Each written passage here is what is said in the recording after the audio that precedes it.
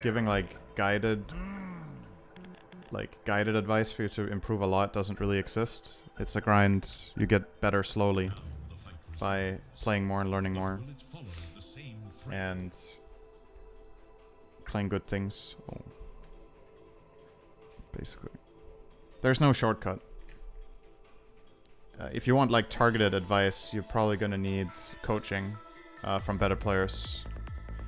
You can be a 2.5k player